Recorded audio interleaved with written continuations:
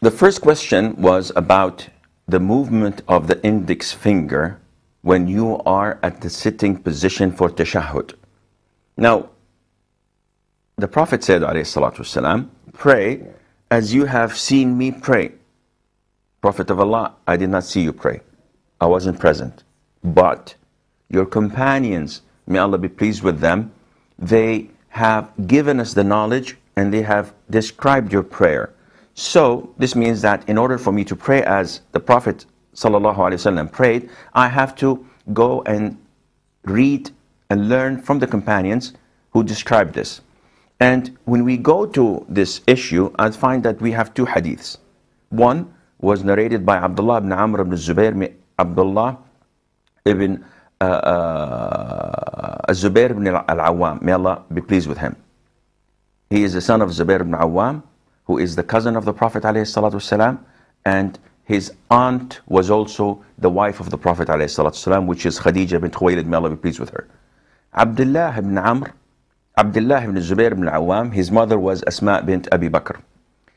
He reported, and the hadith is in the Sunan, that the Prophet, whenever he sat down for tashahhud, he used to point his index finger and he would not move them.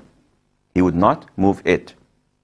Now, Wa'il ibn Hujr, whose hadith is also in the Sunan, stated that the Prophet ﷺ, whenever he sat for tashahhud, he used to point his index finger, moving it, supplicating with it.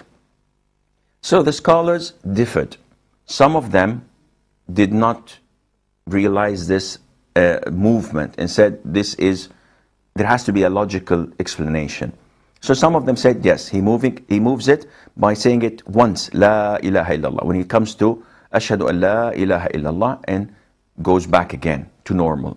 One says that no, you have to do it twice. Ashhadu an la ilaha illallah wa ashhadu Muhammadan abduhu wa rasuluh. One said no, you have to point without moving. Others say you have to point up and down. So they have different opinions. And which is the most authentic? Well, in my uh, to my best of knowledge, it is pointing it, as Wa'il ibn Hujr, may Allah be pleased with him, said, moving it in its place. So it would shake like this, as Imam Ahmad ibn Hanbal said, you move it and shake it in its place. What is the point of it? The Prophet told us in another hadith that moving it is so hard on the devil as if you are throwing the devil with fiery stones. It's very bad on the devil because it is a sign of concentration and your mind is set on knowing and, and concentrating on what you say. So you do this from the minute you sit down to the minute you finish or conclude your prayer. You make a circle with your middle finger and your thumb, and, and the rest is like a fist. And your finger is a little bit tilted, and you move it in its place like this, from the very beginning to the very end. Now, this is a sunnah. So if you see someone doing this once, it's not an issue that we should fight over because it's sunnah. If you see someone who does not raise his finger at all from the very beginning till the end, again, his prayer is valid, though we believe that it is a little bit less in reward because he did not follow the sunnah.